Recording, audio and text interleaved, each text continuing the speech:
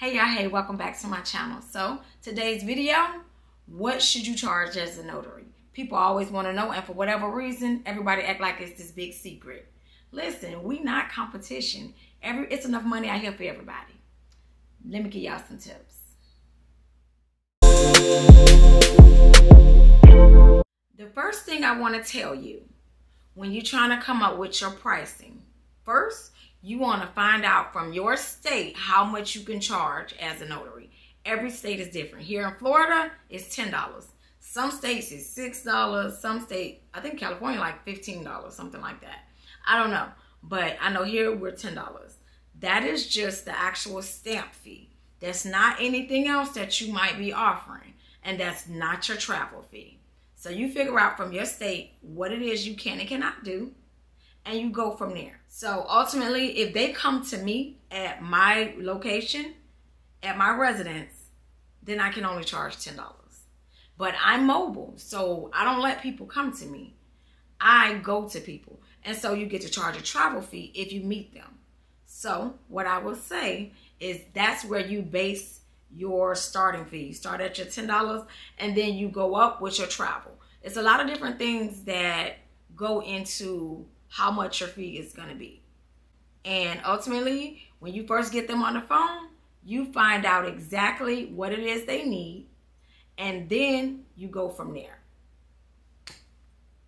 Now, one of the first things people want to do is call you, hello, and you answer, of course, TaShay's Mobile Notary. Yes, you do notary? Yes. How much you charge? Listen, that's the first thing they say. There's no flat fee. So then you start asking them some of the key questions. And these questions should always be in your mind because you need to ask every single person these same three questions. First question, where are you located? You need to know where they located at because if they are too far or not in your area, the call doesn't need to go anywhere. Like literally you can figure out, okay, so I don't service that area. Or if they call and they say that they're 30 minutes away, you know, okay, where the where your price point should stand. Okay? So within maybe the the first 10 miles in your area, you know, okay, so I'm going to charge this amount. I'm going to charge that amount. You figure it out like that. So your first question, where are you located? Your second question needs to be what type of documents do you have? Why is that important? Because the type of document that that person has is going to dictate how long you're going to be at that appointment. Getting there is one thing. Completing the documents, a whole nother monkey. So ultimately, if this person has a will or a power of attorney and they have six different people signing, that needs to be known in the very beginning before you give them a price. So you need to ask them, okay, what type of document? Oh, I'm, I'm going to do a will. Okay. How many people are signing this document? Is everybody going to be there? Another question you need to ask them. If it's a will or a power of attorney, you need to ask them, do you already have your witnesses? Oh, no, I don't have witnesses. Okay, so you know here in the state of Florida, you have to have two witnesses. So if you have your own witness, you can charge for each witness that you bring.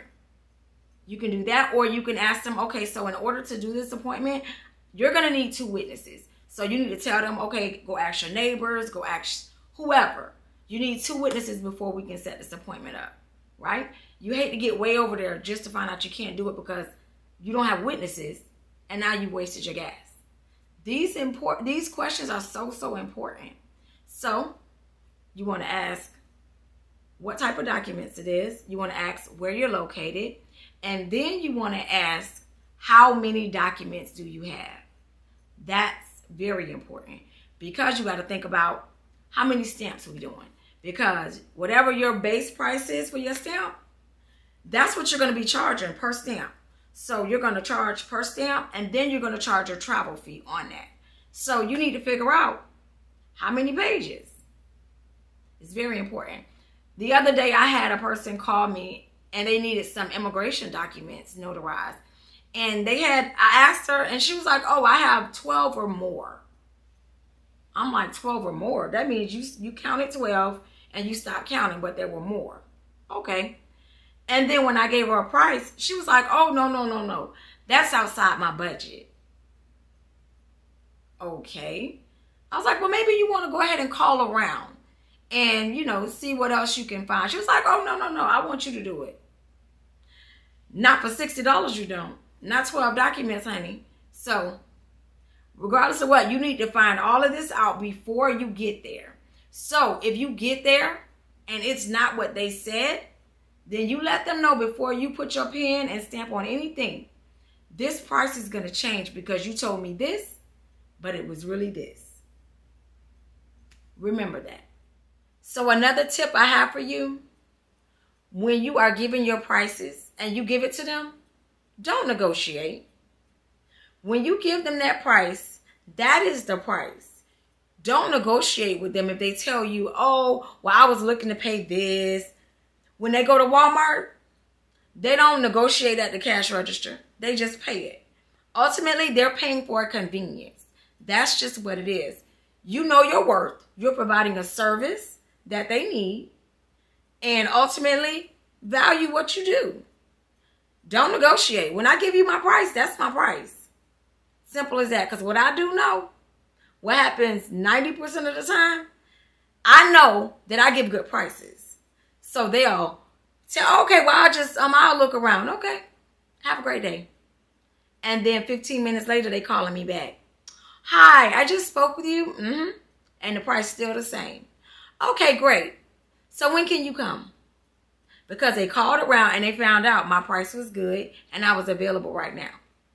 So ultimately, and I didn't negotiate. Don't let them think that your price is built on emotion, how you feel, what they say. No, it's your price. This is a business. Take pride in your business. Whatever your whatever your fee is, that's your fee and this is your business. So you get to tell them.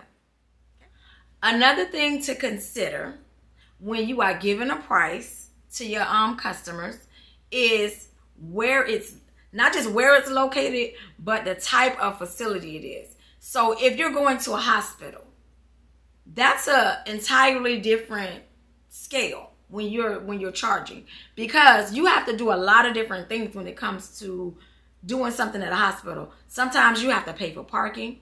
Sometimes you have to park a long distance, walk, get on a shuttle, do a lot of things to even get to that person's room. You got to check in, you got to wait in line. Like it's a lot going on. So, hospital, I charge more for hospital fees. When you have to go to like a retirement center, same thing. You got to park somewhere crazy. You got to sign in. You got to wait for them to get called, to come down, to meet you in some area. Like it's a whole process you got to go through.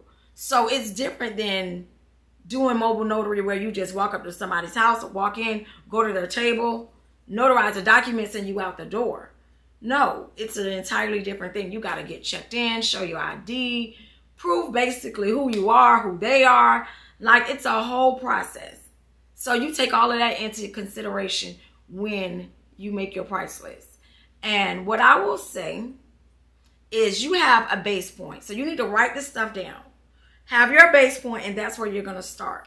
Something else that will affect how much you charge is additional things that you offer. So sometimes people need the documents that you're notarizing scanned back. So if you have a scanner, which most loan signing agents, we have scanners. So if you scan, that's an additional fee.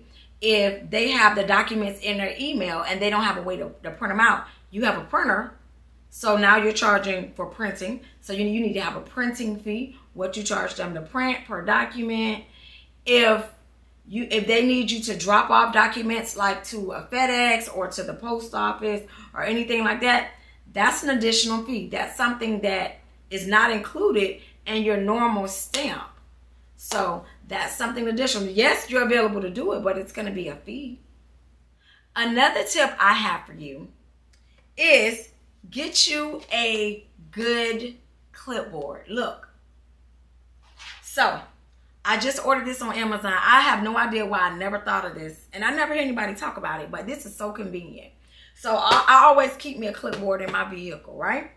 So this clipboard, if you can see, right here at the bottom, That's where the pins go.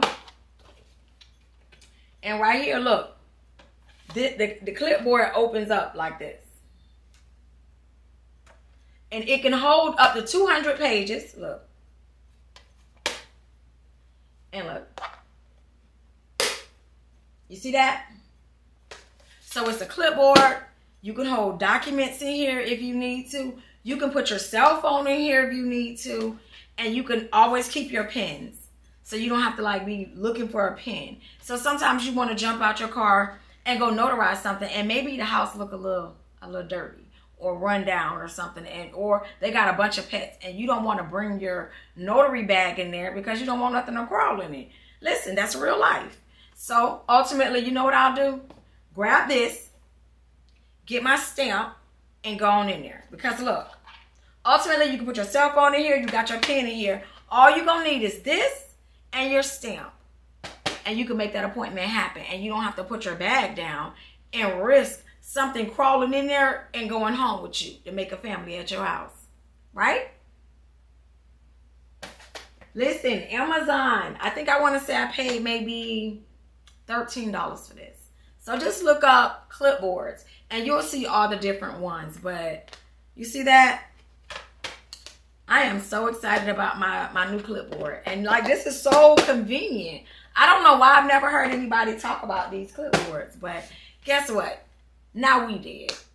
And the last tip I want to give you is if you have like an Apple Watch or on your cell phone, you need to go on your message part and you need to generate a general message that whenever a person calls you and you cannot answer your phone, you send that to them so that ultimately they don't think you're ignoring them or you're not available. That lets them know that you are available and you open the line of communication so that you can set up that appointment. So on your phone, you need to say something to the lines of, thank you for choosing whatever the name of your company is, mobile notary. I'm not available to take your call. I'm with a client. How may I help you today? That simple. And literally that opens up the line of communication and that will let a person know that you didn't answer, but you're still there. So you they can go ahead and write, I need XYZ. And if you're available, you can go back and forth and figure it out in spite of not being able to pick up your phone. Because that is the number one complaint about all notaries. They never pick up their phone. Always. That's the one thing I hear. So that's why I, in the very beginning, I figured out, okay, after I heard that so much, I'm like, well, how can I combat that? What can I do? And then I thought about this. And I just, okay, let me just do that. I did it and I did it on my cell phone too. So if somebody calls me and whether I'm working my nine to five or I'm with another client, I can push one button, send that to them, and then ultimately that open a line of communication so that I'm not missing out on that appointment. Thank you so very much. And what I will say is stay tuned to the very end. I'm going to show you a list of all of my normal appointments and what my base price is. So you don't have to charge that, but that gives you an idea where you can start. Okay?